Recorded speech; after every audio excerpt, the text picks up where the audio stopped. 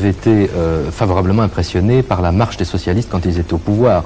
Ils ont euh, redressé la barre un peu, ils ont, ils ont fait, oui. éliminé le, pa- le- le- le Parti communiste. euh, L'élimination du oui. Parti communiste, la prise de conscience par l'ensemble du pays, et notamment par la gauche, de la réalité de la crise, le sens, la capacité de le sens de l'État, la capacité du gouvernement, le sens des responsabilités qui peu à peu ont été intégrés à la culture socialiste, laquelle était archaïque et irresponsable en très grande partie, oui, je considère que ce sont des acquis positifs. Mais euh, pour euh, répondre à Hockenheim, il a tout à fait raison, bien sûr. L'alternance, j'employais ce mot par commodité, il n'a plus le même sens. Quand je parle d'alternance, je veux dire qu'effectivement, euh, je souhaite cette alternance qui consisterait à ce qu'une société du consensus, disons du groupe central rassemblé autour de valeurs qui sont le bien commun d'une majorité de, euh, de citoyens ou de Français, que cette société-là remplace la société de la bipolarisation et de l'affrontement idéologique fort entre droite et gauche.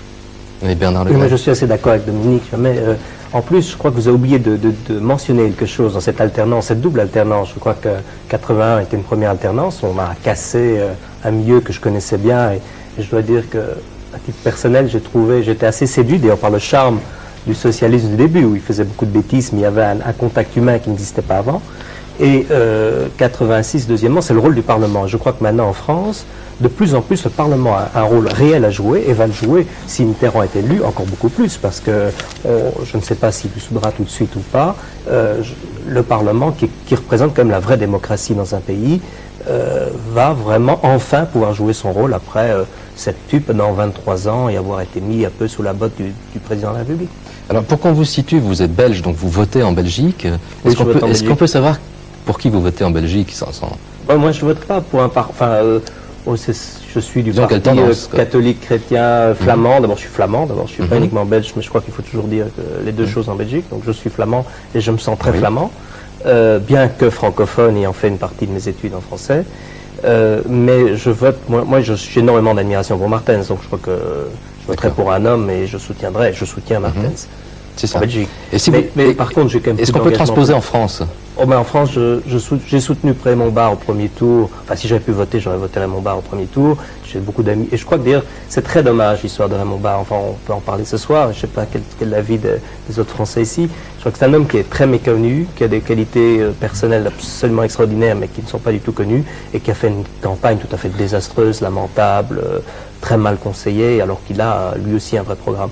Deuxième tour, moi, je, je voterai cer- certainement, enfin, je, je rejoindrai Dominique Jamais. Je crois que Mitterrand est un rassembleur et qu'il faut, faut En, soutenir en Mitterrand. France, vous êtes un flamant rose. Voilà, je suis un flamand rose, exactement. J'ai mis une chemise rose, comme vous, sauf que la mienne a ta ligne, parce que Ce qui vous rassemble. Voilà. ce qui vous rassemble en fait, c'est que vous êtes séduit par des personnalités.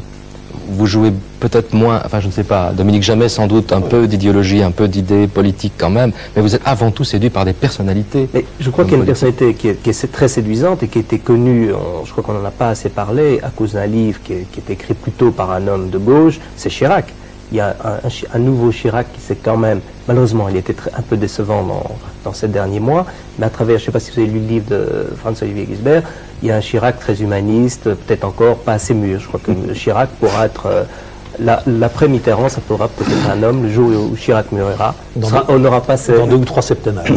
Oh, Alors, demi. Babar. Bah, euh, en tant que Belge, je Belgique. m'excuse d'intervenir dans Oui. l'affaire intérieure de la mais France. hier c'était un grand jour, euh, les Belges Je l'ont je suivi hier soir à la télévision. quelque alors. chose qui, qui me paraît Oui. assez piquant, c'est que finalement, quand on voit du côté des anciens 68A, si on, on ose vous ca- cataloguer, vous mettre dans une petite boîte, vous appelez comme ça, mais 81, c'est plutôt mitigé, on n'a pas trop d'illusions, on sait que c'est pas la même chose. Et finalement, c'est assez piquant de voir que c'est M. Dominique Jamais qui se dit euh, homme de droite, qui trouve que mai 81, c'est le changement, que mai 81, c'est le décoinçage de la société politique française. Alors je me demandais si finalement c'était Dominique Jamais qui avait changé en soutenant Mitterrand, ou bien si c'est Mitterrand qui avait changé pour que Dominique Jamais puisse le soutenir. C'est peut-être un peu ça la question. On a dit, on a dit tout à l'heure, euh, mai 68, mai 81, quelle évolution Est-ce que les gauchistes, euh, bon, le rôle des gauchistes, en tout cas dans la modernisation du Parti socialiste. Mais moi je crois que le, le centre du débat euh, à ce niveau-là, c'est sans doute la digestion par un appareil d'État qui est formé, qui existe depuis des, centaines d'années, d'un courant spontané qui a éclaté en mai 68, qui était porteur de valeurs différentes, de changer la vie, de, nouveaux rapports entre les gens. Et puis euh, cette génération a fait son, chemin, elle, a avancé, elle, est partie dans, des cul-de-sac idéologiques, elle est partie dans, le gauchisme dogmatique ossifié, elle est partie dans toute une série de, voies euh, sans issue.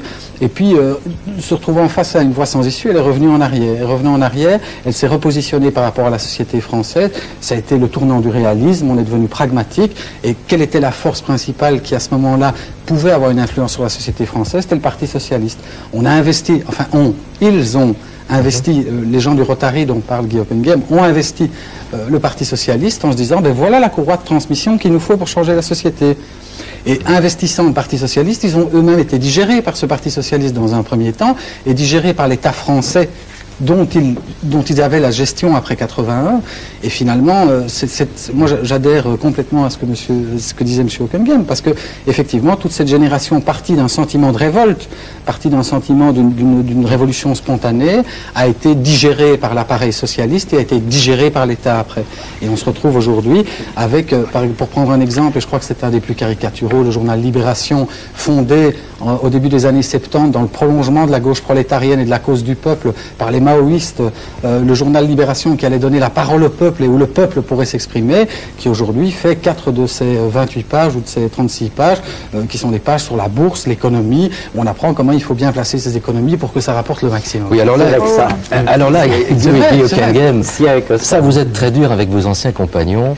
Euh, et notamment Serge Julie, je crois qu'il en prend vraiment beaucoup, lui, dans votre livre. Ben, écoutez, il y a tout de même une chose qui m'a beaucoup frappé, c'est que s'il y a des gens qui doivent aujourd'hui, à l'égard du phénomène Le Pen, se réjouir que ça me paraît même le, résultat le plus inquiétant, le plus grave des dernières élections françaises, euh, eh ben, il me semble que Serge Julie en fait partie, parce que je me rappelle très bien avoir lu un éditorial de Serge Julie disant qu'il fallait que le mouvement de Le Pen puisse s'exprimer, que c'était une bonne chose, que comme ça il y avait une expression démocratique d'un mouvement qui existait réellement auparavant. Alors, je sais bien que ça faisait partie d'une tactique, Dominique Jamais en parle aussi dans son livre d'ailleurs, ça faisait partie d'une tactique euh, socialiste, mitterrandesque en particulier, euh, de, laisser s'exprimer le lepénisme dans, les élections, d'adopter la proportionnelle en partie pour casser la vieille droite et en partie pour l'affaiblir. Donc, euh, c'est pas peut-être par sympathie idéologique pour le lepénisme, simplement si je souligne ce fait, c'est parce qu'une forme d'opportunisme politique, une forme de, d'attachement uniquement aux valeurs de succès par n'importe quel moyen amène à des phénomènes de ce type-là. Euh, j'ai là un article qui a été écrit par quatre anciens gauchistes il, y a, une semaine ou deux dans Le Monde, euh, Marine Karmitz, Bernard Kouchner, Bernard-Henri Lévy, et euh, dans lequel ils déclarent pourquoi ils soutiennent Mitterrand. Je, comprends très bien qu'on puisse soutenir Mitterrand, mais quelles sont les raisons pour lesquelles ils soutiennent Mitterrand? Eh bien, parce que, précisément, il a réalisé un aggiornamento sans précédent des dogmes et des certitudes de la gauche. C'est un petit peu la même raison que Dominique Jamais, d'ailleurs. Mais voilà. Mais oui. Euh, le moment est venu de tirer toutes les leçons de ces mutations, les leçons économiques, en tirant clairement parti de cet atout majeur qu'est l'acceptation par tous de la rigueur l'acceptation par tous de la rigueur euh, est, un, joli euh, fantasme quand on, gagne sa vie, comme Marine Karmitz, Bernard Kouchner, Bernard Lévy. Bon. Euh, morale, il faut tirer les conséquences morales, en reconnaissant que les valeurs cardinales, l'égalité au premier chef, ne s'incarnent plus dans des dogmes surannés. Ce type d'argument ou ce type de, de raisons pour lesquelles euh, il a également parlé du corpus philosophique attardé du socialisme, etc., pour lesquels d'anciens gauchistes soutiennent Mitterrand, dessinent bien, à mon avis, le cadre. Euh, je comprends très bien qu'un homme de droite soutienne Mitterrand. Je comprends moins bien qu'un ancien gauchiste soutienne Mitterrand pour ces raisons-là. Si c'est ça l'aggiornamento, la modernisation, hmm. ça ne me séduit euh, effectivement pas du tout. Et une fois de plus, c'est un problème presque moral, là aussi, c'est que je trouve que l'abandon de valeurs qu'on a défendues euh, et me pose un problème, me pose un problème moral, et je pense qu'à la limite, si le même phénomène devait se reproduire autour de Le Pen, nous entrerions dans une situation extrêmement grave euh, dans laquelle tout, serait permis euh, sur le plan moral. Je voudrais quand même vous dire, c'est ce que vous dites en tout cas dans, votre livre, c'est que on, sent bien que l'évolution de ces ex-militants de 68 a précédé quand même le gouvernement de, de, gauche euh, qu'il y a eu une évolution sur un certain nombre d'années. Oui, mais leur première expérience d'une influence importante, ça a été euh, à partir de 81. Et je ne veux pas une fois de plus accuser Mitterrand de quoi que ce soit, c'est un homme d'État, il fait son métier d'homme d'État, il le fait plutôt mieux effectivement que la plupart des autres euh, hommes d'État français. Et je vous dis une fois de plus, il a réussi en tout cas matériellement à cette chose, que euh, dans 8 jours, enfin dans 15 jours en France, il sera probablement la meilleure barrière contre euh, le, le renouveau fascisant euh, de, de type le péniste. Donc, euh, de toute